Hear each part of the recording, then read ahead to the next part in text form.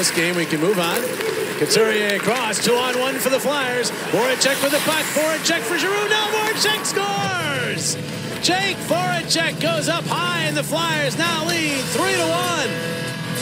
Well, this line has been outstanding in the game, really taking back the puck possession game from the New York Rangers, and they deserve to be rewarded. This doesn't happen if Giroux doesn't aggressively drive the far post, and Jake looks him off. He fakes pass and goes high glove. Shesterkin a lot to think about because of Giroux's distraction. And Jake, known as a pass first player, makes the right decision there and rifles that snapshot up to the top of the net on the glove side and a huge goal for the Flyers. Then this one.